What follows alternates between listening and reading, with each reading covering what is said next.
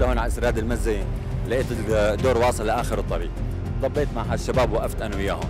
طب أنا إذا بدي اقعد طول النهار لحتى أعبي نهاري هذا كله انضرب.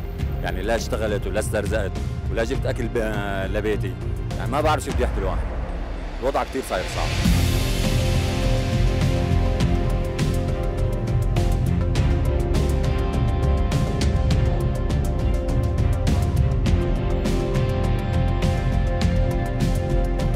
سيارتي اجار وبيتي اجار وخمس أولاد مدرسي وهلأ إذا وصلت على الدوري بجوز تطلع البطاقة ما فاتحة كمان. احتمال 99% تطلع البطاقة ما فاتحة لأنه طلع قرار جديد كل أربع أيام مرة نحن